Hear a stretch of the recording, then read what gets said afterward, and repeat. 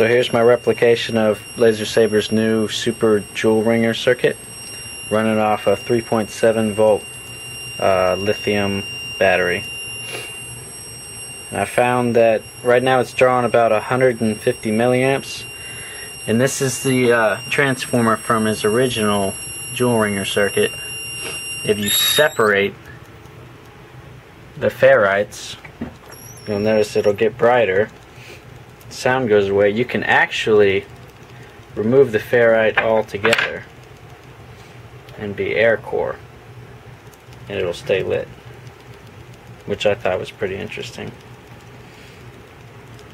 So uh, so I switched it to a wider bulb because I didn't like that color.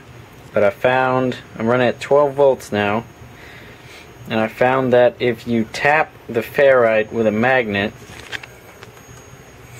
a little magnet to get the uh, magnetic field moving. You can kickstart the oscillation and use a 2N3055 transistor.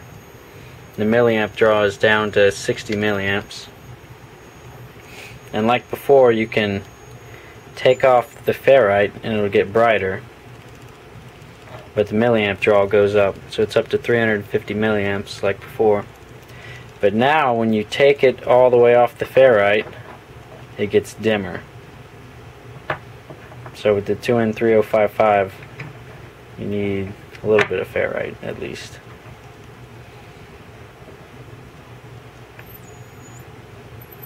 You can kind of tune it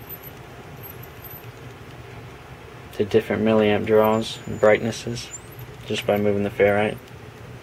I thought that was pretty interesting.